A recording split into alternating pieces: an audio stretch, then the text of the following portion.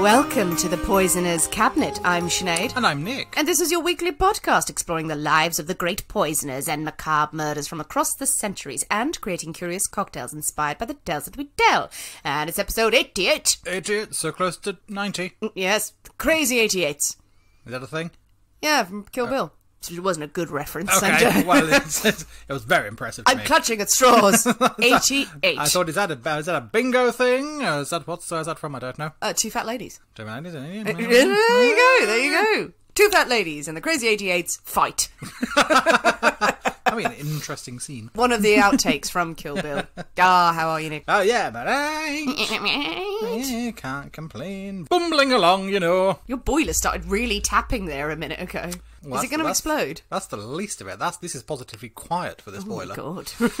Is this how we die? Just on a tragic blo- Well, boiler it's explosion? been on the verge of explosion for about three years, so could go any time. Could Okay. go, could be tomorrow, could be now, could be in six years. I wonder if there's one listener out there who just only listens to hear if the boiler does explode, and every week they're disappointed. I find that unlikely. Quite niche. Well, any poisonings this week, Nick? No, no. No poisonings for November? Is it a bad thing? Well, I'm sure I wouldn't know, Nick. You tell me of your poisoning ways. Everyone is safe For now. for now. For now. The Always little- add that little caveat at the end. For now, The little black book of poisonings can go back into the drawer with it's the. back on the shelf. And Nick is tucking into his pre-cocktail cocktail, of course. It is the way of things. What are you drinking? I have. I haven't had one for ages, and I fancied it with a bit of green, Ah. which I knew Sinead would hate. So I've made myself a last word. Oh, a last word. You do love a last word. I do word. love a last word. It's been a while, and I had some limes just lying around the place. I have a lot of lines So I thought they need a squidging. Saucy. I like it. So I made myself a last word. well, speaking of having the last word and squidging things, I think it's time for us to thank our lovely, delicious new Patreon subscribers. Indeed, there's a splendid, splendidly named person this week. Thank you so much to Christine Macher. Christine Macher. Oh, my darling. Christine. Oh, what a marvellous, marvellous name. Very, very good. I like that. I like that a lot. So thank you very much for joining us, and I hope you're finding lots of Patreon treats. And thank you to all of our resubscribers. We've had people rejoin us on Patreon every month. We always say, dip in, see how you feel. We understand that people can't always commit long term. They might want to come back in. And then they realise they cannot live without the poisoners' cabinet in their Exactly. lives, and they come back. They always come crawling back, and we take them back. We welcome you with open arms. So thank you to all of our delicious, very, very sexy Patreon subscribers. We also have a little shout out this week. Mm-hmm. Very special one to a very, very special listener, to Cooper Gunn. Hello there, Mr. Cooper. Cooper, we know you listen. Cooper is but five years old. Don't everyone panic at the fact that a five year old listens to this show. Mother Kristen is a loyal fan of the show, and she and Cooper listen every week. She pre screens, don't worry. Little Cooper loves to listen to the show, and every time Nick introduces himself, Cooper has an uncle, also named Nick, and he goes, That's not Uncle Nick. No, it's not Uncle It's Nick. not. I'm not Uncle Nick. It's not Uncle Nick in disguise, Cooper. but we love you. We are so glad that you listen to the show and we're glad that you find it fun. So thank you, Cooper. Hello. Well, Nick, Mm. are you ready to drink cocktails and talk about poison? Or, or, or, or, or, or, Or, or, or, or. we could drink poison and we, or we could talk about cocktails. I want a story. Tell me a story. Oh, should we go with the first one? Yes. Okay, let's go with the first one. It's my story this week. Hooray, hooray, hooray. But as we've established, we can't, we can't, we can't possibly have any stories in this house without a cocktail in hand. Or indeed in your houses. Yeah, absolutely not. Or anywhere you're listening to this. If you're walking down the street, you better goddamn have a cocktail Better in have a cocktail. Absolutely. If you're in work, put the cocktail in a thermos. Who's to know? Who no one would ever know. Starbucks. Is it gin? Who's to say? There you go. Except when you're called in by HR for being outrageously drunk at your desk. As you know, dear listeners, every week we choose a secret ingredient that is inspired by the tale that we tell and will flavour our cocktail of the week. My story this week, so my pick. Hmm. And this week's secret ingredient, Nick, is hmm. soap. Yes. So- I, I do feel this is revenge for last week. Would I? How bitterly furious you were with my ingredient last week. I do feel this is some sort of payback I mean, whatever payback I have, it's hollow because I've got to drink This the is, bloody this is, thing this is very too. true. This is very true. So you're only making yourself suffer. Exactly. Well, I did have a second ingredient, which I shall reveal during the story. Never. Um, Nick absolutely point blank refuses to have this. and one day I'm going to have to give him no alternatives. I foolishly gave him an alternative, which was soap. But we'll all see how people feel about this later. But soap! Wash your mouth out, Nick! Indeed. From your talk of chartreuse. May as well just put chartreuse in it. So, with soap as the ingredient, Yes. inspiration. Let's, or- let's let's go with inspiration on this Oh, occasion. Thank the good yes, Lord. let's go with inspiration. What have you come up with? Well, I mean, there were a few options. Yeah, I'm, I'm always intrigued when I throw a curveball at you and you just immediately What? go, yes. So it does depend on how you interpret soap. I'm going to interpret it one way, as in soap. What are you doing with Well, no, soap? We could have we could have had, had a fat wash drink because soap is basically fat and a alkaloid to make it cleany. So Yeah. it could have, could have gone down that. Oh, I'm going chemically on you. It would have been a stretch, but I'm sensing you didn't do that. But I didn't do How that. Quickly you did this. I didn't do that. There wasn't that. Going for a slightly more literal interpretation. So, where do you think you would find some soap? Where would you find some lovely soap? Where would I find lovely soap? Yes. In a in a bathroom? Okay, think somewhere else. In a kitchen? Mm, In a laundry? we are having a wash house. A wash house. Yes. Okay. okay, I can get it. You got a wash house for laundry, but also Laundry, to go and wash yourself. Yes, well, indeed, yes. Multiple methods of washing. Is it your laundry? Is it yourself? Is it your? Is it your other things? No, that's it. That's it. There's two, isn't it? There's laundry and yourself, and maybe some ornaments when they get dusty. You take them to the wash house. I take my dusty ornaments to the wash house. I do. Are you not supposed to do that? How else will you do it? Some sort of dusting mechanism. Oh mean, That's some insane. sort of crazy thing. Everyone's got some old wives' tale or something that their relative has done, an old relative about where they used to wash things that didn't need washing at all. Let's wash this designer jacket in, in bleach that your grandmother did, and you're like, oh, thank you so much. This is great. A wash Yeah. house. I, I, I don't know. Is it going to be soapy and foamy, We'll find out, won't we? full of bristles? Full of bristles. Full of loofah. Full of loofah, indeed. So that's how I'm. That's how I'm juicing my limes with a mangle this week. You bloody love that, wouldn't you? That'd be great fun. I remember my my grandmother had Here a it mangle. comes. Here it comes. There we In go. her- in her had kitchen. how? What? What in the what? How did she? How did she? How did she? because she was quite old fashioned. And she had a mangle. So what do you use a mangle for? Just to ring, Just to ring out? Yeah, to the wring out stuff. So put your wet things in and you squish it around and you get dry. Well, drier things out, less waterlogged. yeah, Slightly no, it- less it, just came into my head. Yeah, Did she use it, or did she just Yeah. have it there? no, she used Or it. Was it to punish you? Potentially, yes. Put your hands in there. You've been a bad child. God, this is dark. That's why I'm so tall. Okay, you see, everyone always has a weird washerwoman story from their family. Right in with yours, people. Okay, before this gets more delving into Nick's psyche, I think it's time for us to head into the poisoner's cabinet kitchen and shake up a storm. So we'll see you in a minute. See you in a bit.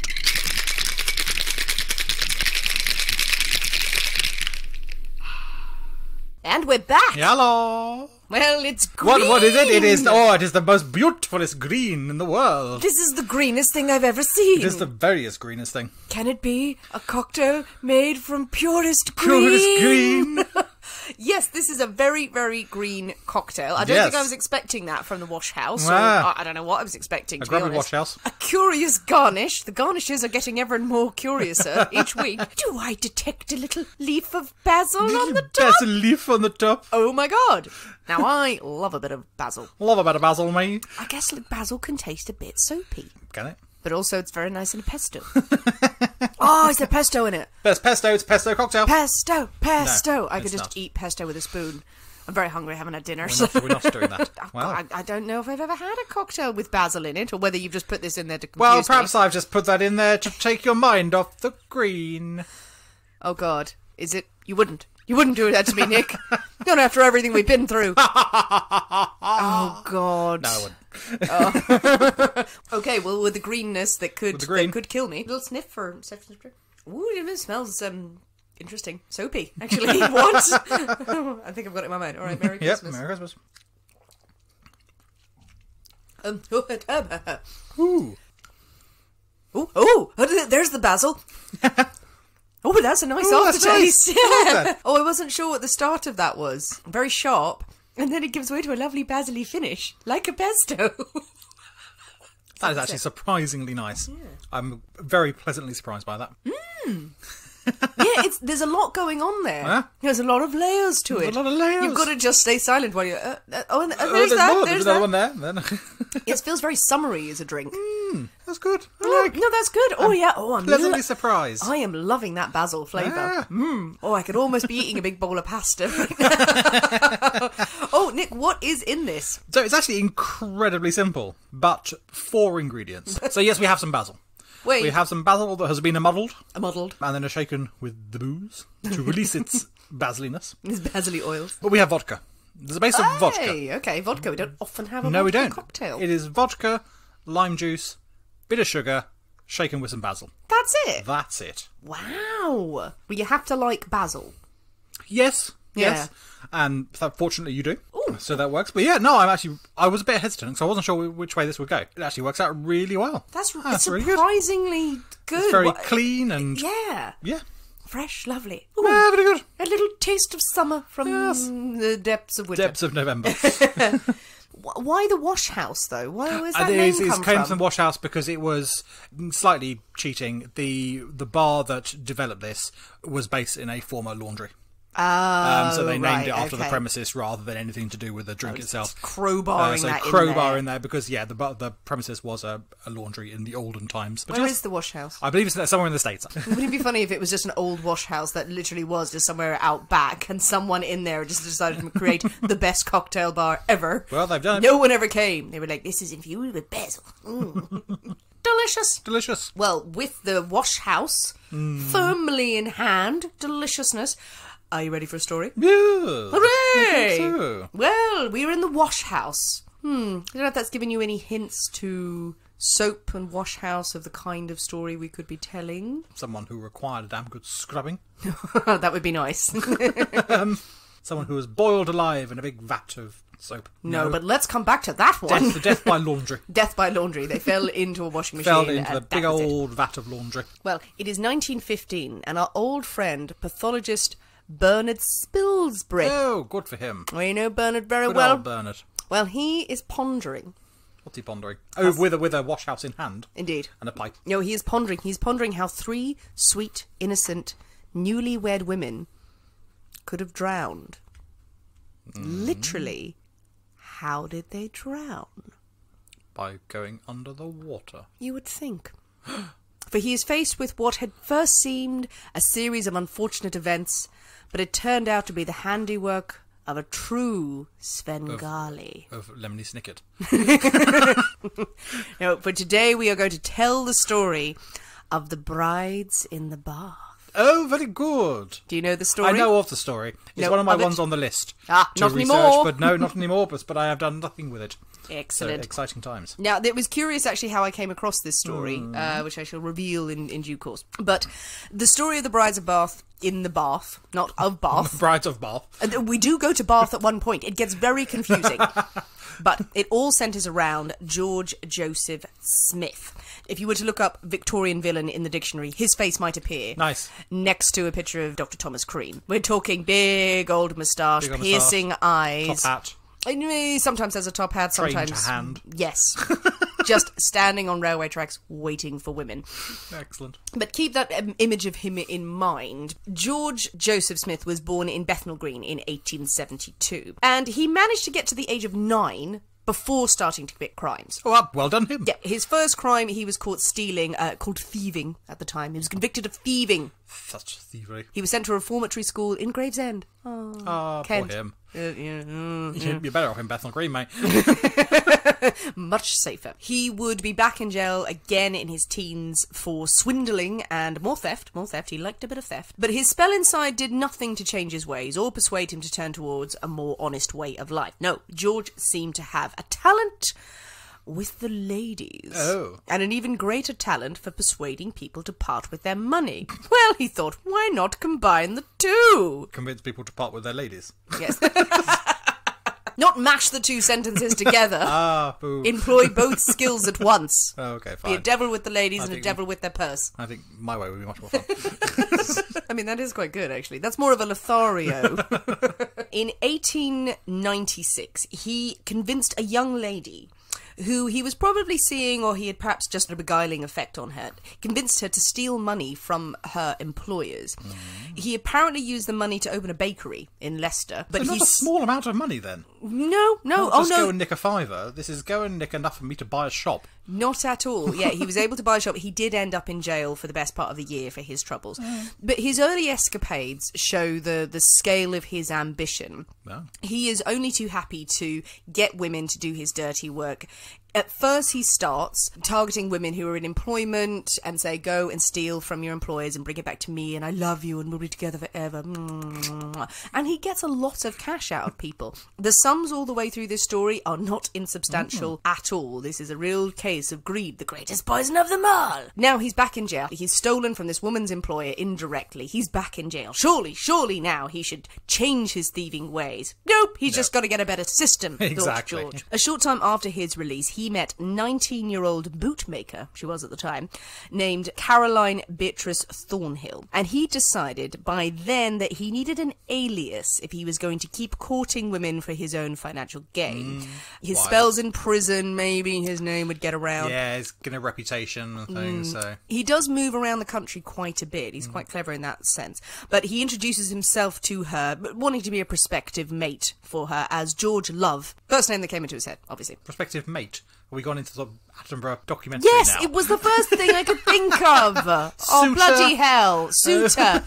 Presenting himself as a prospective suitor. Protective mate. I know. They were seen shagging in the park. Well, he could have chosen any other name apart from Love, couldn't he? I'm Mr. Love. I love you. Or George Copperfield. Grabby boobs. George, yeah, George Grabby Boobs is gonna be is gonna be less subtle. But Caroline was smitten, love or grabby boobs aside. And the two were wed. This would be George's only legal marriage, because it is his first one. Right, okay. All the rest of them, none of nonsense. Very much so, Nick, very much so. They moved down to London, where Caroline took a job as a maid, and George dusted off his powers of persuasion once again and quietly convinced her to start stealing from her employers for his benefit. Oh, the spoons, The shiny spoons. the shiny silver spoons. The tiny, tiny spoons for the mustard. or just the great wads of cash. Now, she did what she was told, but she was caught for her trouble and she spent several months in jail in Worthing. A wife being in jail shouldn't stop a man with so much love to give. He pays no heed to his marriage vows. George marries another woman and sets about finding ways to have her make money for him as well. Got to get his income somehow. Can't be expected to work for his money. He is someone who very much believes in bigamy. He hits a small snag, actually, at this point when Caroline gets out of jail and immediately implicates him in a load of thefts. And he has to go to jail for a while. Bitter, bitter ex wife going, Well, okay, fine, you're going to go to jail. So he goes inside for, for quite a while. Some reports say it's about two years. Again, does nothing to dissuade him from his chosen career as a bastard, apparently. When he's released, Caroline, his first and legal wife, flees to Canada, but his other wife is waiting for him. He's only too happy to return to her, steal her savings, and then run away. George spends the next few years flexing his charm all over the southeast coast and sometimes into the Midlands. It's remarked that there are plenty of single young women at the time, so we're into the 1900, the zeros. What do we call that? The noughties. The naughty, The yeah. 1990s. 19 noughties. The 19, the naughty 1990s. it was said, obviously, a lot of men are emigrating to the colonies at the time, and there were newspaper reports that uh, there were far more single women because a lot of the men were going off to try and find work and new lives, and they're like, who will love me? Who will wed me? Oh, no. So, love is what they want, love is what they've got. George worked his way through multiple courtships and multiple marriages, turning on the charm, promising his sweethearts the earth, and then running off with their money or their valuables or possessions as soon as he could get his hands on them. He wed Florence Wilson in June 1908, but by July he had run off with £30 of her cash. That's the equivalent of £3,000 today. That's a considerable sum. Mm, he also sold all their things in London. Rude. Then there was Edith Pegler, who he wed and would leave alone on long travels. He would go away and return with wads of cash from mysterious sources, and Business she trips. business, Business trips, trips. business trips. Took what little she had as well. He then married Sarah Freeman in 1909. He stole her war bonds. Had. How rude. Woman after women. The power he had over women. How does he do it, though? How does he do it? He is noted, Nick, very important, for wearing brightly coloured bow ties. I mean, that'll do it, to be honest. That would get you. Yeah, gotcha. Bring it on. Moustache and a bow tie. Is he making the bow tie twirl. Fancy jewellery he wears as well, but it was his eyes. Witnesses later said that held his true power. One quote from a woman who knew him in his early days said, When he looked at you, you had the feeling that you were being magnetized. Mm-hmm. They were little eyes that seemed to rob you of your will. These grey Look into eyes. my eyes, look into my eyes, not around my eyes, look into my eyes. Hold on to that thought. Okay. there with a pocket watch. Well, you've mentioned it. Um, there Okay. would be many a rumour, and I will come back to this later, that was George a hypnotist. Ooh. Which I love. For a good Victorian great. story. I mean, absolutely, yeah. creeping along the south coast just With big swirly eyes and the big spirals. and his and his bow tie going round Most as well. going around a pocket watch, no one stood a chance. and it is. But now we come to 1910. Mm-hmm. George has obviously worked his way through many a woman, stealing their goods, running away, getting away with it. But now he has started walking out with Bessie Mundy. A fairly plain but well off young woman that he has met in Bristol. She has a fortune of two and a half thousand pounds. What? That's a lot of cash. yep yep yep She knows George as Henry Williams, Uh-huh. picture restorer extraordinaire. I added the extraordinaire bit Okay, right, okay. Picture extraordinary oh, to the gentry. They are married just a few weeks after meeting, and they move to the beautiful seaside town of Herne Bay. Oh, God. it's not that beautiful anymore. Now, Herne Bay is literally down the road from where me and Nick live. It is in Kent.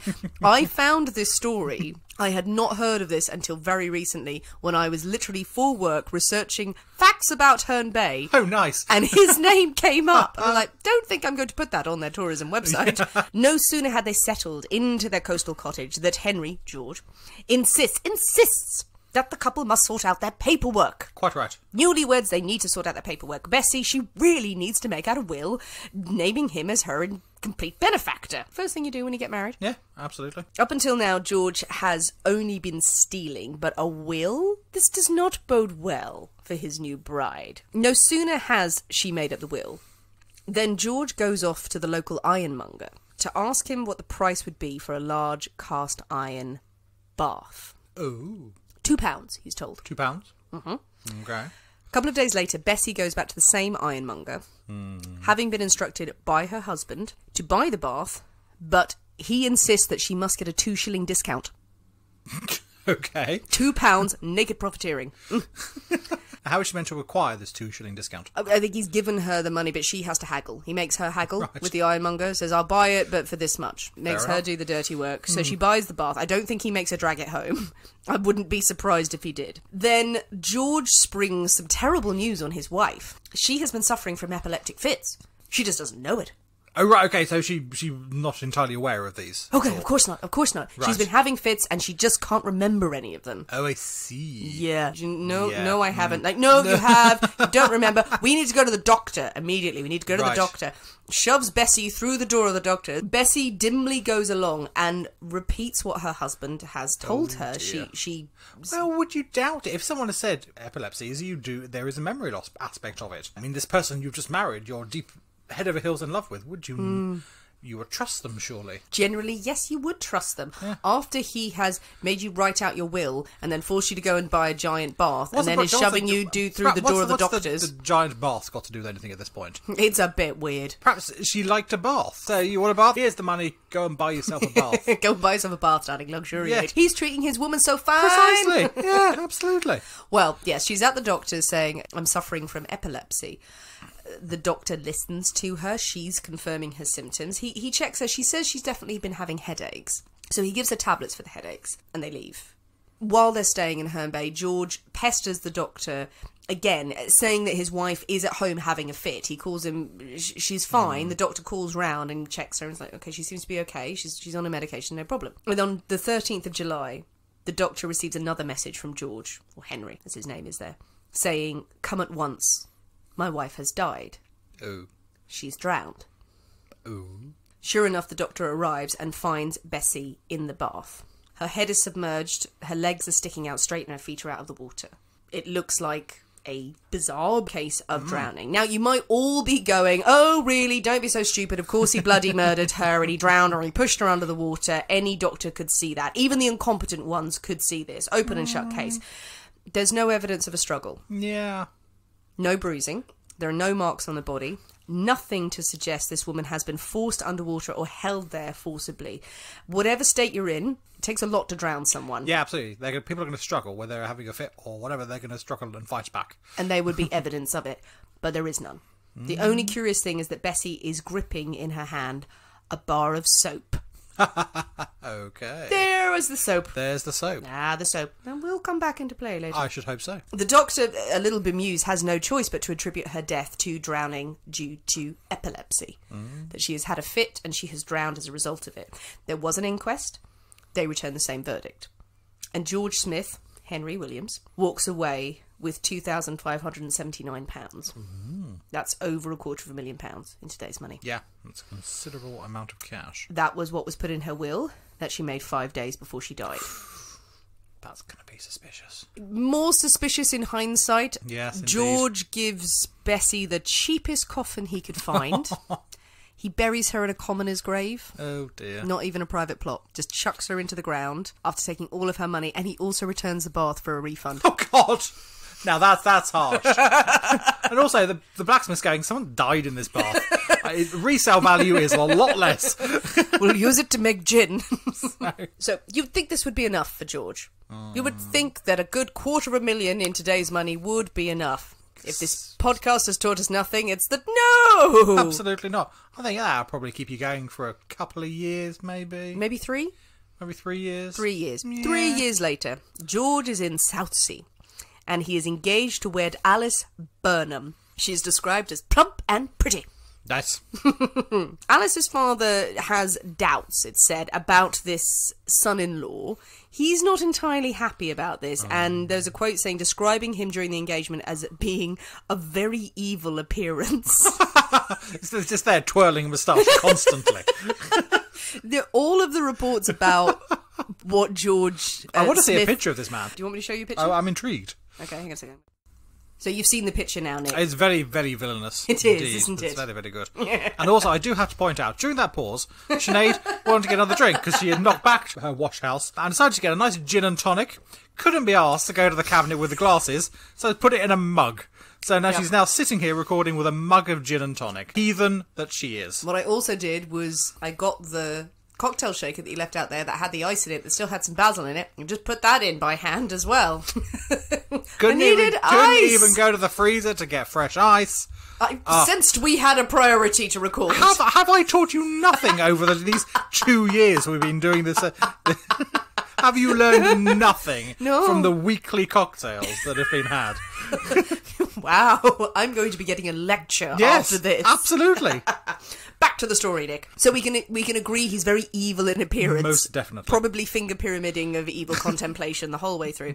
But regardless of Alice's father's concerns, the pair of them wed on the 4th of November. On the same day, Nick, Mm. he takes her to a doctor to get a certificate to ensure that she is healthy enough to have a £500 life insurance policy in her name. Well, be prepared. Be prepared. Be prepared. I mean, th- that poor girl, what was she imagining she was being whisked off to on her wedding day? Well, I mean, the, the doctor's surgery was next to the registry office. Makes sense. It's just convenient. Two birds with one stone. Are we going to lunch and to watch the sunset with champagne? Right, let me just check you, check you down and see if you're You're just healthy gonna enough. have a medical first. Wedding night? No, ew, None of that. none of that. It is not. tend The, to my moustache. but he does treat her to a lovely, slightly belated honeymoon in Blackpool. Now, at the time, Blackpool. Oh, oh, very fancy, Oh, yeah. oh. I have never been to Blackpool. Neither have I. We should go. No, it's it's it's far it's far far north. I've never been that far north. Monsters up there. Now, on this honeymoon that they take to Blackpool, there is a mm. scene that certain listeners will understand. It is straight out of a certain Simpsons episode, and I want you to guess in the comments of this episode. When they check into the first boarding house, he refuses to stay here because he demands that they must leave because the room doesn't have a private bathroom with a bath. Okay. Not good enough for my Not- wife. no. absolutely no. Another wife who likes a bath. Yeah. Who doesn't like a bath? He was simply looking out for his new bride. He knows she likes a bath of an evening, making sure she has a bath. I believe That's you. Love. They find a suitable accommodation Good. soon with the biggest bath known to humanity. As soon as they have checked in, what does a man do with his wife on when they've checked into their honeymoon? He takes her straight to the doctor saying she's been having headaches. it's very possible that this was true. Alice may have become suddenly ill. Why? We don't know. Three days after they have arrived at this boarding house, the landlady is in the kitchen doing her chores and she notices drops of water coming from the oh. ceiling. At the same time, George Smith suddenly appears and starts talking very animatedly at the landlady. Probably along the lines of, Look at me, I'm here, I'm standing here in this room. I'm definitely nowhere else. Here's my name and the time that I have arrived in this room. He's standing there with a newspaper with that date on it. Have you got it? Have you got it? Have you got it? Take a mental picture. Great. I'm just going to go upstairs now. Oh my god, my wife is dead in the bath. The wife is dead in the bath. The landlady sees as well. The doctors are called. They investigate. Again, no signs of struggle. No bruising. Nothing. This time, the inquest, which is called and convened, mm-hmm. determines that she has died from drowning after fainting. I'm never going to have a bath again. It's dangerous. Next, we move on to Margaret Lofty. Lofty. Lofty Marge. Lofty Marge. This time, George goes by the name of John Lloyd. He is a wealthy land agent. Oh, he has prospects. Mm.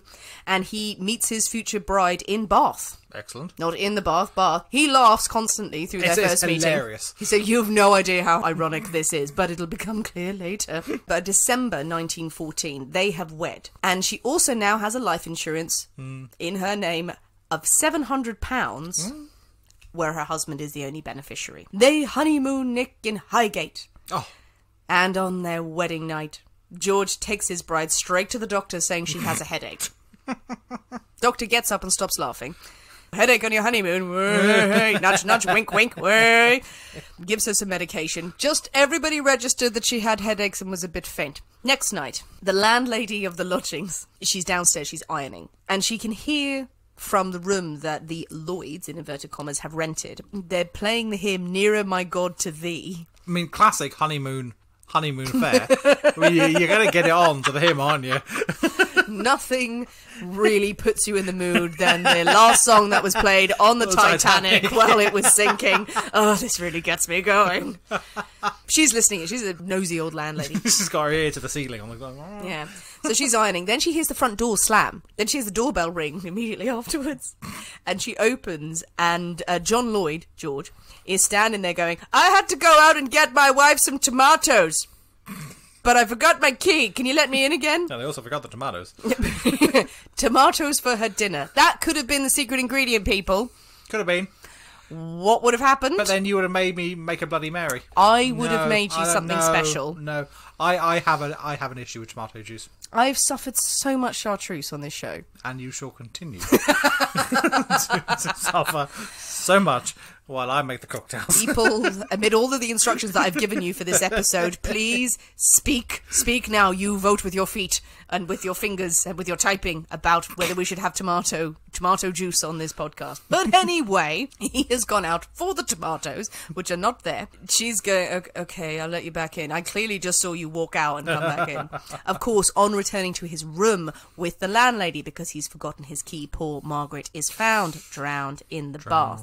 It's a very small bath, this one as well. Mm-hmm. It's it sort of beggars belief how a grown More like a woman, sink. yeah, more of a sink, more of a tub, Or a bucket. It's crazy, really, that she's drowned. But again, no struggle, no bruising, apart from a small mark above her left elbow. The death is recorded as misadventure That's quite the adventure. also showing George's dedication to his wives after they've died. When the hearse, this is a quote, when the hearse drew up at the funeral, Smith told the undertaker, I don't want any walking, get it over with as quick as you can.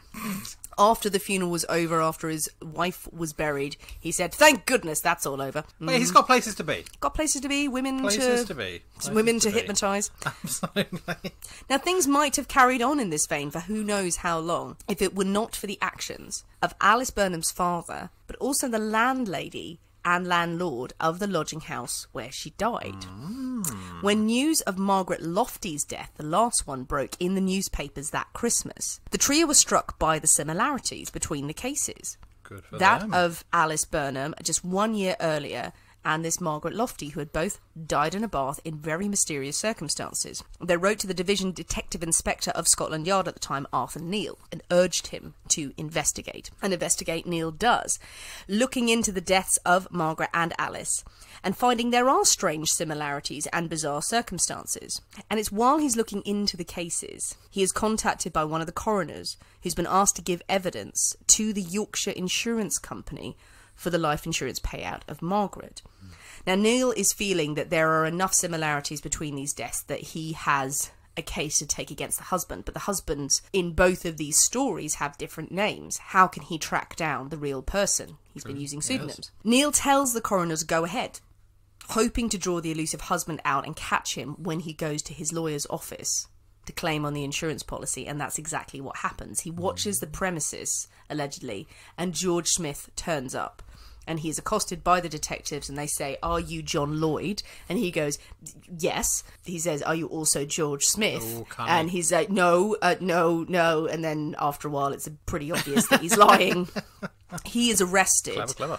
on suspicion of bigamy and murder. Now, the police, it's then that they decide to bring in the big guns, Bernard Spilsbury, the famed pathologist, to determine what has happened to these women. Ah. Because all of the inquests have found that they've drowned. But how? And how and with no signs of a struggle and how, this is too much of a coincidence. Mm. So Margaret's body is exhumed first and Spilsbury begins his examination. And as he's doing this, news of the brides in the baths murders has begun to spread in the press. Hmm. And that's when the police chief of Herne Bay Constabulary reads the reports Excellent. and thinks back to the first murder that we now know was the first murder.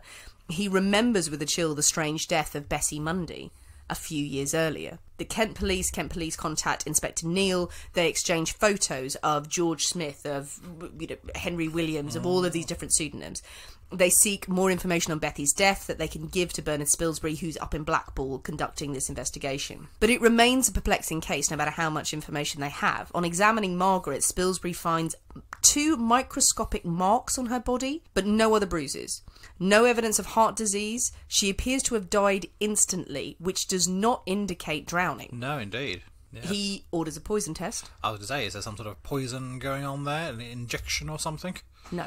Oh, There's no poison found in her system. Mm. He even does tests on the bath. They are trying to work out the size of the bath, anything in there that they can find evidence of. He exhumes Alice Burnham's body. The same results are there. No violence, instant death, and little evidence of drowning. Bessie is the same, the first one, though she has goose pimples on her thigh, and apparently that is an indication of drowning.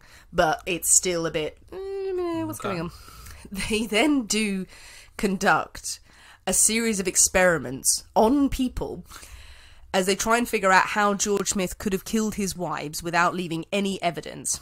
If any of the women had had a fit, there would have been violent spasms. Mm-hmm. They would have moved out of the bath. They wouldn't have been lying there peacefully. Yep. There would have been evidence on their body of bruising. In most cases, the women didn't even really fit in the bath. As we said, the baths are quite small. They would have sustained injury.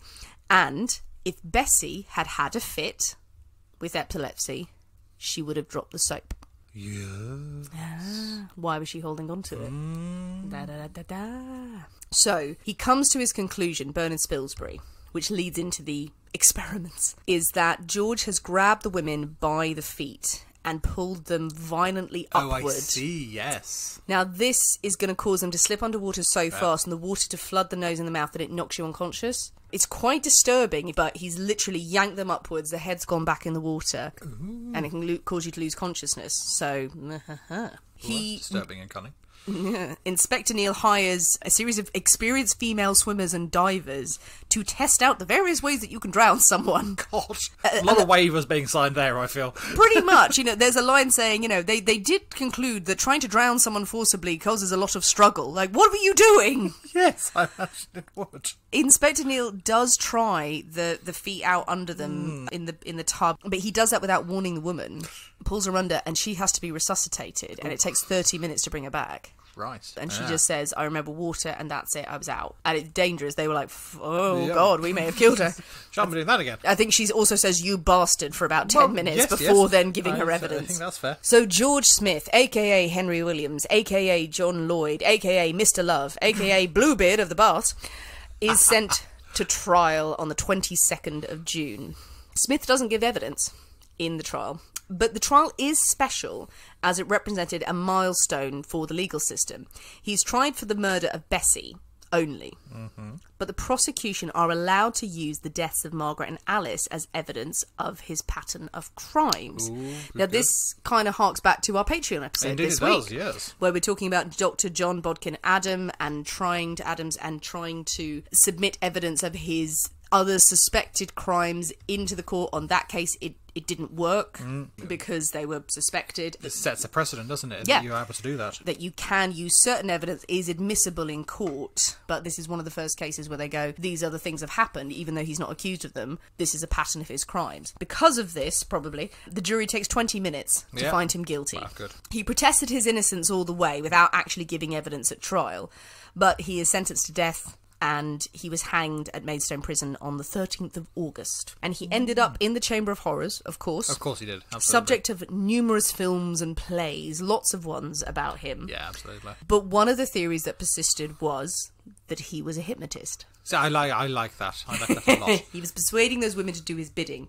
And there was a quote from his barrister, Edward Marshall Hall, who, after he was found guilty and sentenced to hang, he said he believed George Smith had killed his wives. Mm-hmm. There was no way he could say it in court. And he said, I had a long interview with Smith. I was convinced he was a hypnotist. Once I accepted this theory, the whole thing was explained. But that is the story and the mystery of the hmm. brides in the baths murders. It's a very very good story. There we go. I'm not entirely convinced he was a hypnotist. I mean, probably not. Probably not. I think a, just a very charming, charismatic man, potentially. The theory um, about it is that yes, the hypnotism about charming these women to do his bidding and to steal from them and duping them, that could happen with anyone.